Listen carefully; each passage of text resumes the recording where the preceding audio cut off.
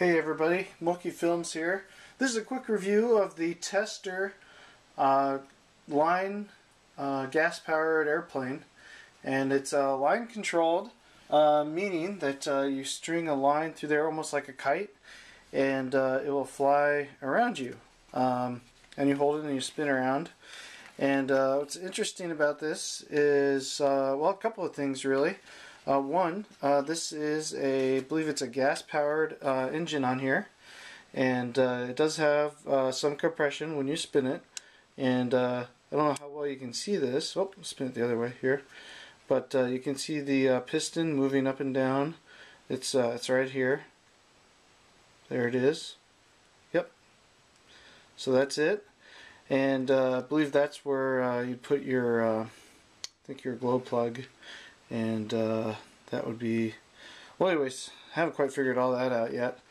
Uh, but this is a uh, Testors model uh, made in the USA and it looks like this gear retracts so I haven't quite figured out if it actually does. Um, trying to be kind of delicate with this thing because uh, I'm not sure how old it is. Um, another thing on here is that uh, this little control right here uh, if you look at the back elevator here, it actually controls, actually it's better if I adjust this. Um, I don't know how well you can see that. Oh, there we go. But as I'm pushing it up and down, just like, just like so, you can see those parts are moving in and out. So you can control the uh, the lift, basically, um, or the angle of attack, or the pitch up, if you will. And uh, yep, it's got a uh, four-bladed prop on the front there and it looks like it's pretty easily removable. This is made out of plastic and the body um, almost feels like it's, uh, I guess it is plastic, but it almost feels a little bit uh, like a little, kind of a stiff rubber almost. Anyways, uh, this particular model is in uh, fairly good shape. As you can see the leading edge on the wings here, not a lot of scrapes or scratches. Uh, don't know how well you can see this. Let me try to adjust my lights here. There we go.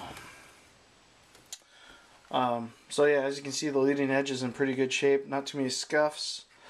Um, looks like this was uh, maybe partially painted, or maybe it was painted that way as kind of a uh, camouflage.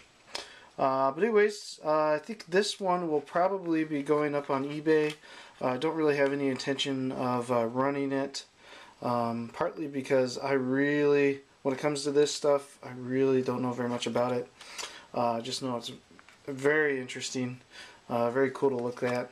Um, some other uh, models like this, this motor, uh, and some of them is a .049 um, gas-powered engine or nitro, if uh, if that's what you're running these things. I'm not quite sure. And uh, as far as where the fuel goes, um, not really exactly sure on that either. But uh, anyways, if uh, anybody had one of these, um, send me a note. Um, if you know anything about it, uh, send me a note. Looks like this bottom part is separating here. Maybe if you just stay tuned for just a minute, I'll take a quick peek inside there. It looks doesn't look like there's very much in there.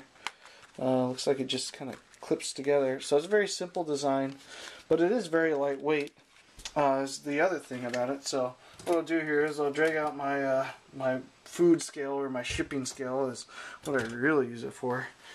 Um, so let's go ahead and see how much that weighs. Looks like it weighs about uh, four ounces. Not bad. So pretty lightweight and uh, again um, pretty small. I'm not sure what the scale on this is, but uh, guessing maybe 148 uh, or 172. Um, really kind of a uh, model car guy. I don't know the airplane models as well, but uh, do think it is a good representation.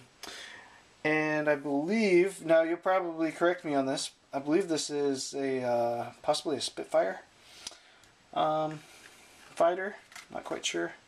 Uh, just says Testors on the on the bottom. Doesn't tell you what uh, exactly it is. But based on the markings, I would say that's probably a Spitfire, maybe a, a Hurricane. Um, anyways, so uh, if you have any comments, if I've totally butchered it and uh, want to correct me, call me out on it. That's uh, that's fine too. And if you like what you see, go ahead and click subscribe and help support the channel. And thanks for watching Mulkey Films.